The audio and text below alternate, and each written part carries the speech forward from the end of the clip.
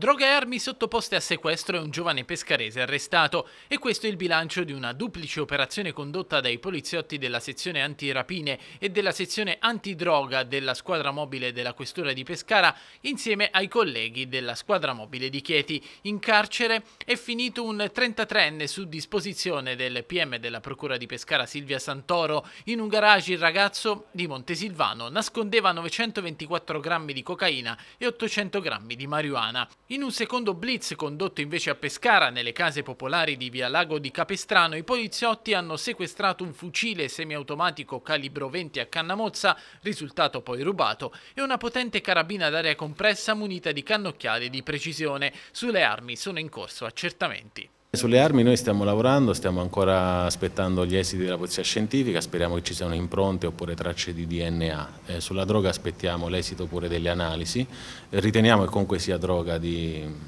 diciamo, un principio attivo elevato e riteniamo quindi per questo che la persona arrestata fosse un mero custode della, della droga per conto terzi.